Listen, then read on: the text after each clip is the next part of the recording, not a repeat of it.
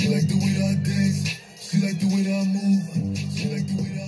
les gars, c'est Cameron le Portage, joueur du Zen Sport. Pour mon qui foot, un petit challenge, rien de compliqué. Le plus beau challenge recevra mon maillot dédicacé. C'est parti.